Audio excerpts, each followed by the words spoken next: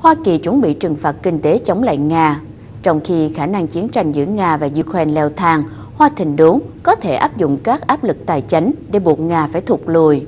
Bộ Ngoại giao đã chuẩn bị các biện pháp trừng phạt chống La mặt Tư Khoa. Tuy nhiên, không có chi tiết nào khác được cung cấp, ngoại trừ chính phủ có sẵn một loạt các biện pháp khác nhau.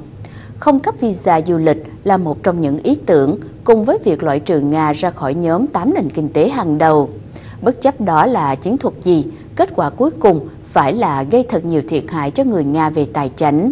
Phó Chủ tịch Hội đồng điều hành Đại Tây Dương, ông Damon Wilson nói rằng, khác với Liên Xô ngày xưa, Nga ngày nay có nhiều liên kết trong nền kinh tế toàn cầu và do đó đang có rất nhiều thảo luận về trừng phạt kinh tế trên quy mô lớn nhắm mục tiêu vào Nga và vai trò của các công ty Nga trong lĩnh vực tài chính quốc tế có thể làm cho Điện Cẩm Linh phải suy nghĩ lại nhưng để tạo sự chú ý của Điện Cẩm Linh có thể có những hậu quả kinh tế không mong muốn cho nền kinh tế toàn cầu và cho nền kinh tế Hoa Kỳ, đặc biệt là khi một cuộc xung đột sẽ có tác động mạnh mẽ trên chi phí năng lượng. Người tiêu dùng Hoa Kỳ là những người nhạy cảm nhất đối với mức giá năng lượng, trong khi người tiêu dùng trong phần còn lại của thế giới có xu hướng nhạy cảm đối với giá thực phẩm. Hoa Kỳ đang có một triển vọng kinh tế khá tốt cho năm 2014 và 2015 với sự hỗ trợ của giá trị thị trường chứng khoán và tâm lý rủi ro. Nhưng nếu giá dầu tăng cao thì sẽ làm suy giảm tiêu thụ. Và làm giảm bao nhiêu phụ thuộc vào mức độ của các biện pháp trừng phạt của Hòa Thịnh Đốn và phụ thuộc vào việc các đồng minh châu Âu có đồng hành với Hoa Kỳ hay không.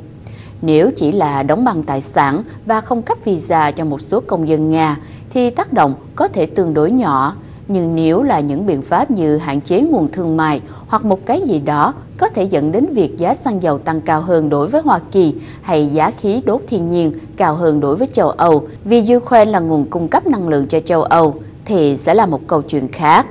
Các nhà đầu tư đã không chờ đợi cho chương tiếp theo được viết. Các thị trường chứng khoán đã bị ảnh hưởng và giá dầu thô đã gia tăng trong ngày thứ hai. Cho nên, nếu tình hình này kéo dài, thì các tác động sẽ càng nghiêm trọng hơn.